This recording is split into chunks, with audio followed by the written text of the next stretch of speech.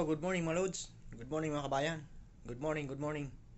Ah, ngayong umaga ay ah, pupunta tayo ng Imbahada at uh, magpaparenew tayo ng ating ah, pasaporte dahil yung passport natin ay ah, expired na.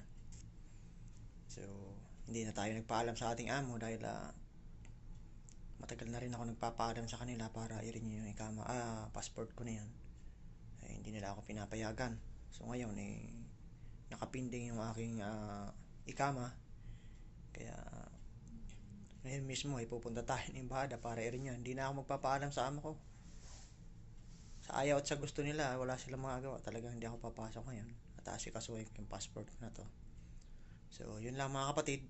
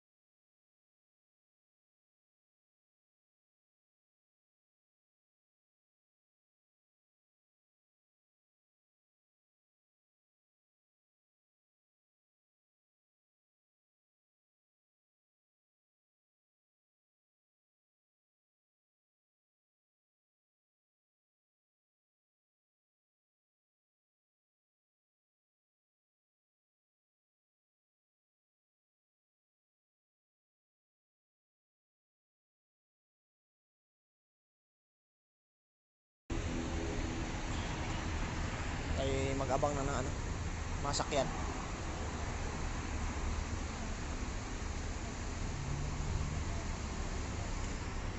Naman ng taxi. At pauwi na tayo. Mag-abang na ng taxi.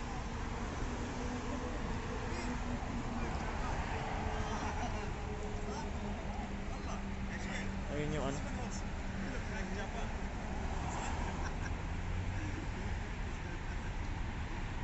BFS uh, global ay, global.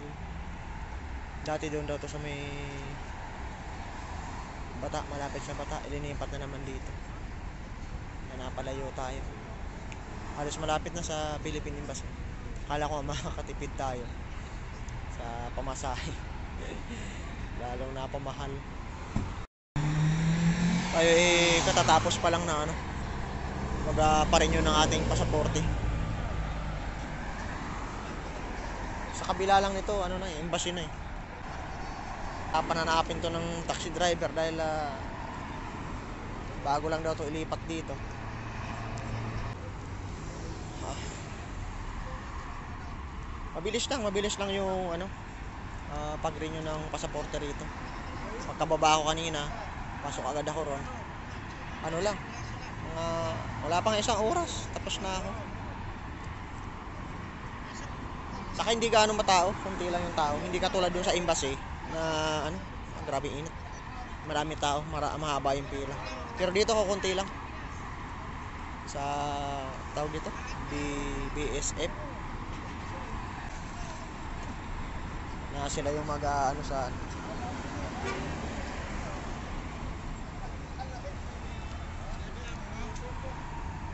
Tama yung bayad sa delivery. 400, kulang kulang 450. 441. Real.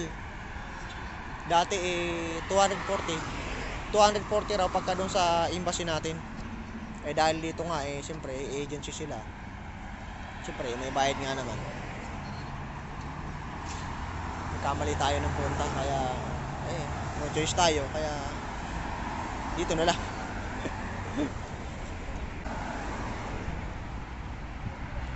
tayo magabang sa dulo kasi maraming tao.